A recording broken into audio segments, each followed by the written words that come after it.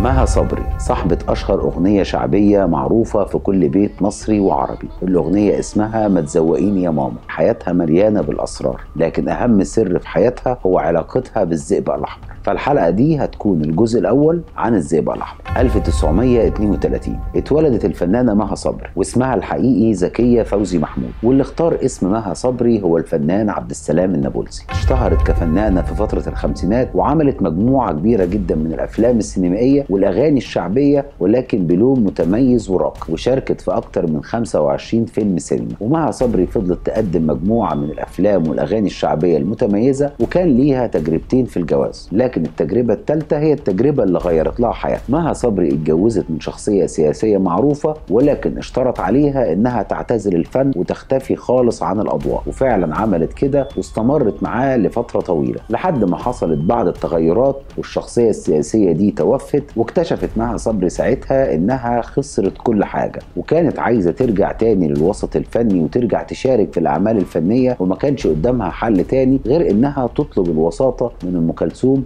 علشان ترجع تقدمها تاني للجمهور. أم كلثوم وافقت وساعدتها لكن مها صبري في الوقت ده جالها مرض قرحة المعدة وفضلت تعاني منه لمدة أربع سنين. ولما بدأت تتعالج بشكل تدريجي قررت إنها ترجع للوسط الفني تاني. لكن آثار الشيخوخة وكبر السن بدأ يظهر على وشها ومن هنا تبدأ علاقة مها صبري بالذئب الأحمر. واحدة جارتها قالت لها على ست مشعوذة هي عارفاها. الست دي تقدر بعلاقات مع الجن وبطريقة معينة إنها ترجع لها شبابها تاني. وتخلي شكلها يبان كأنها بنفس حالتها الأولى وبنفس جمالها اللي الناس متعودة عليه. وفعلا مها صبري صدقتها وراحت للست المشعوذة دي. والست دي أول طلب طلبته منها إنها هتعالجها عن طريق الذئب الأحمر. وقالت لها إن الجن بيحب الذئب الأحمر. وقالت لها إن الجن مجرد ما بيدوق الذئبة بينفذ كل الطلبات وكل الأوامر. وفعلا مها صبري دفعت فلوس كتير والست المشعوذة أقنعتها إنها اشترت لها الذئب الأحمر. وقالت لها إن الجن طلب منها إن زي ما الجن هياخد ذئب أحمر لازم كمان مها صبري تتناول الذئب الأحمر في مجموعة معينة من الأعشاب الست المشعوذة دي هي اللي محضراها. وبدأت تقنع مها إن شكلها بدأ يتغير وبدأت تصغر في السن مها بدأت تدفع فلوس أكتر. وبدأت تشتري كميات أكبر من الذئب الأحمر اللي هي طبعا كانت مقتنعة إن المادة اللي لونها أحمر دي هي دي الذئب الأحمر. وبدأت الست تجيب لها الأعشاب وتحط لها عليه الذئبة وتطلب منها إنها تاكل الأعشاب دي بانتظام. وفي كل مرة كانت الست المشعوذة بتقنعها إنها ظهر عليها صغر السن لكن بعد أربع سنين من تناول الأعشاب اللي عليها الذئب الأحمر مها تعرضت للآتي. أولها اتعرضت لتدمير الجهاز العصبي تماما وبعدها تليف وقتل خلايا الكبد وبعدها دخلت في غيبوبة للكبد لحد ما توفت سنة 1989 ولحد تاريخ الوفاة ده كان في ناس قليلين جدا قريبين من مها صبري عارفين إنها كانت بتسمع كلام المشعوذة وكانت بتتناول الأعشاب دي اللي عليها الذئب الأحمر. الذئب ما عملهاش أي حاجة وتوفى حالات ناس كتير ومشهورين كتير جدا اتنصب عليهم بسبب الذئب الأحمر. والذئب الأحمر زي ما قلت مادة بيتصارع عليها ثلاث أصناف. الصنف الأول هم الدجالين والمشعوذين. الصنف الثاني هي الناس اللي بتدور على الآثار أو اللي بتبحث عن الآثار. والصنف الثالث هي الجهات المسؤولة عن التجارب النووية المختلفة. وهعمل فيديو مخصوص عن الذئب الأحمر وهوضح فيه كل الحقائق عن الذئب الأحمر. سلام عليكم.